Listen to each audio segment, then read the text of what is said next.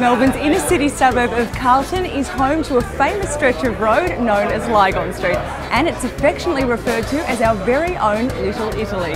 You'll find European inspired cafes, world class restaurants, and decadent dessert bars around every corner. And we're about to take a look at one of Melbourne's favourite Italian eateries. Welcome to Il Gambero. Now, for those of you who know Lygon Street and the AFL, then you'll know the Frank Di Mattina name, and Il Gambero has been a passion of his for more than 30 years. Frank, tell us how has Il Gambero evolved over those 30 years? This is the new Il Gambero.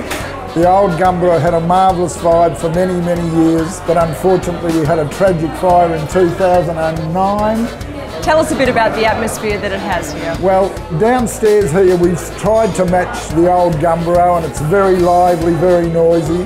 But upstairs we've got a marvellous function room which is also an extension of the restaurant. We've got a marvellous retractable roof and we've got a balcony that overlooks the beautiful Carlton Gardens which is fabulous.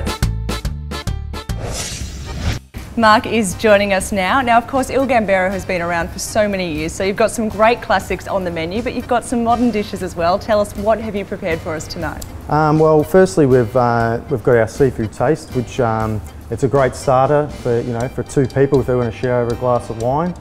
Second, we have spaghetti marinara, which is a, a classic of ours, of Il Gambero, which has been, you know, people keep coming back for years. And here we have um, our pizza Il Gambero, which is made on our stone oven, which is one of the first ones in Australia, which gives a fantastic taste, which we're renowned for our, our pizzas. So we also have our eye fillet steak with a pepper sauce for all those meat lovers out there that uh, enjoy a nice, nice uh, steak. We also have a fresh seared tuna on a simple uh, couscous and asparagus and toasted almond salad with a salsa verde.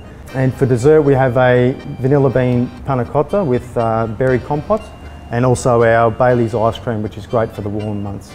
Mark, you have a terrific variety. Thank you for joining us. No problem. Well, next time you feel like some authentic Italian cuisine, make sure you book a table here at Il Gambero.